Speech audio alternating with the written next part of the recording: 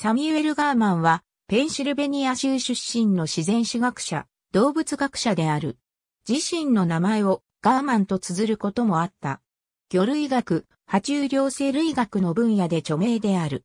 ガーマンは、ペンシルベニア州インディアナ郡で1843年に生まれた。1868年にジョン・ウェズレー・ポーウェルの率いるアメリカ西部の探検隊に参加した。1870年にイリノイ州立大学を卒業し、1871年、イリノイ州レイクフォレストのフェリーホール人学校の自然科学の教授となった。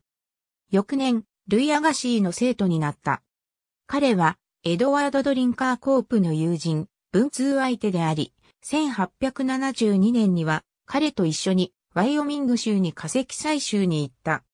1873年にはハーバード大学の比較動物学博物館の魚類学と爬虫両生類学部門の副部門長になった。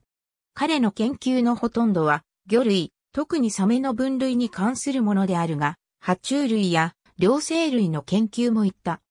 ハーバード大学は彼に対して1898年に学士、1899年に修士の名誉学位を送った。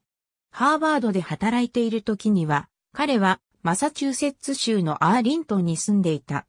1895年にはカナダのニューブランズウィック州セントジョンでフローレンス・アームストロングと結婚した。娘が一人いる。ありがとうございます。